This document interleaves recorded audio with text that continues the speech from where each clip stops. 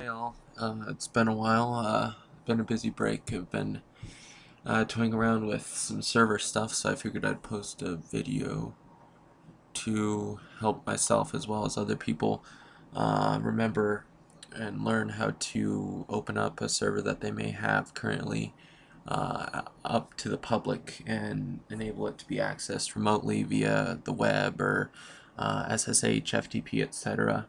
Um, in terms of actually setting up a server, I'll probably do a series on that later. That's a little more in depth. But uh, to start out, uh, if you already have a server uh, on your network and you want to open that up to access remotely, uh, I'm going to go ahead and walk you through how to do that. First, we want to go to our router configuration, which is usually at uh, this IP address, uh, 192.168.0.1 and depending on your ISP and your router you'll have a different splash screen. Uh, but what we want to go to is advanced setup in this case. Um, and then what you want to look at first is your DHCP settings.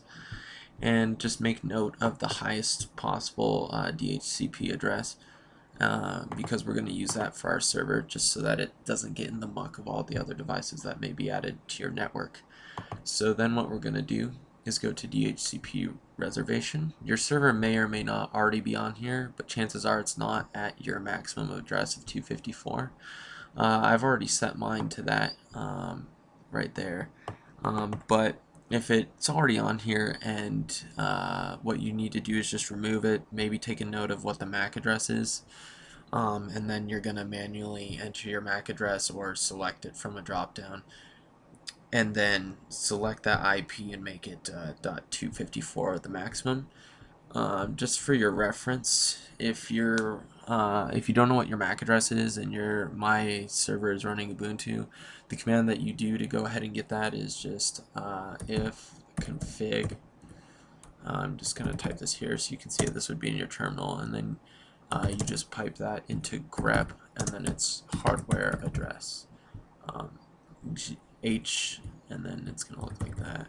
Capital H W A D D R with a grep in front of it. I just, apparently this limits my characters, but that's what it would look like. And that's how you find your MAC address in case you didn't know that already.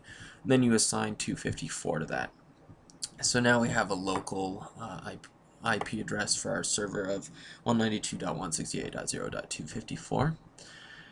And now there's only a few other things we need to do for this. First of all, you want to turn on your firewall. Uh, I put the settings on low, uh, that way we can access this uh, via pretty much uh, anything. Mm, it's a good idea, but if you want to be more stringent about that, you can go ahead and change that. Um, make sure that your router's firewall is on because what we're going to do is port forwarding. Um, now what we do for that is um, based upon what services you want uh, to be able to access remotely, you forward those ports. Uh, the, for the ports that I have forwarded right now are um, 21, 25, 80, 22, 110, 143. You can usually check those under firewall to see what they are and which ones you want to have enabled. Um, so for example, for me, uh, SSH is a big thing, FTP uh, is 21, SSH is 22. Uh, being able to access the web, uh, just your website in general, that's uh, port 80, um, etc. So uh, depending on uh, what you want, MySQL database 1433. so that's kind of important if you're planning on using databases. So from there what you'll do is you'll just say your starting port, ending port, each one it's going to be the same thing. So if I wanted to add say port 1500, uh, whatever that is, if it even exists here, I'd just do 1500, 1500. And then the address that we assign to our server, which is always going to be 192.168.0.254. And then we'd apply, and you apply that for all the ports um, that you want. Uh, from there, uh, that's about it for that. Uh, then, if you want, this should enable you to, uh, assuming you have port 80 uh, forwarded, this should enable you to be able to visit your page from uh, a remote location and access it from a remote, remote location via your IP. To see what your IP is right now, just say, uh, just Google what is my IP, um, and it'll tell you what your IP address is, your public IP address. Um, and then what you would do is you just, uh, from remote location, you would just type in 70.59.38.25, and what that'll do is it'll pop you right to there, and it should show up whatever you have under your www folder for port 80. Um, and that's about it. Uh, one thing to note though is you most people have a dynamic IP, so this will change over time. So I would recommend uh, installing a client on your server such as noip.com.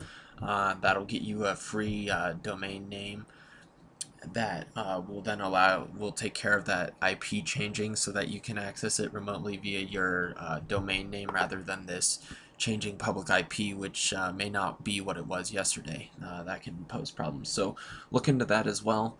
Um, other than that, I hope this uh, made it a little more clear as to uh, what this is. Again, um, your local uh, address to your server that you can use from your home to SSH into as well as uh, on your router right here is here.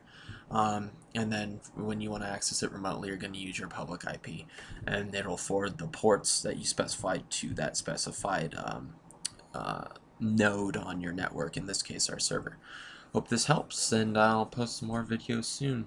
Uh, have a great one.